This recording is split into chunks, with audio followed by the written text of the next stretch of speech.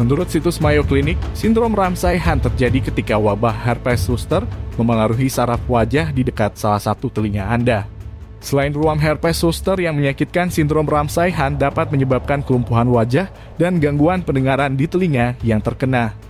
Sindrom Ramsay-Hunt disebabkan oleh virus sama yang menyebabkan cacar air yang tetap berada di saraf bahkan setelah cacar air sembuh.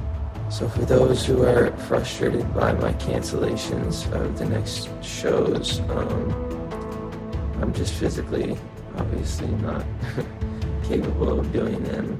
Uh, this is pretty serious, as you can see.